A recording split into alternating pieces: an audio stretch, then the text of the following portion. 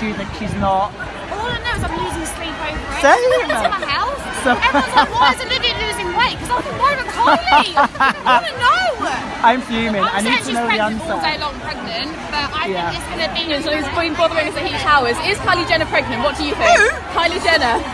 I don't know. What's your expert opinion? I don't know. If she's pregnant, congratulations! Who knows? I don't Who know. knows? I'm not really bothered. No. Tearing us apart. We're not I'm sleeping not, on babes. one. You need to get over it and get alive. Have you not lost any sleep? don't worry, babes. Just deal with your own stuff and forget about everyone else's, and then you'll lead an amazing life. Mwah. Look, Next series. Now we've heard a rumor that Tyga's girlfriend is alive. Who's Tyga? Tyga is Kylie Jenner and Kylie Tyga. Jenner. Kylie Who's Jenner's ex. Kylie Jenner? Oh, I don't know. She's just. Uh, I honestly don't. I don't know You don't who know. these people are.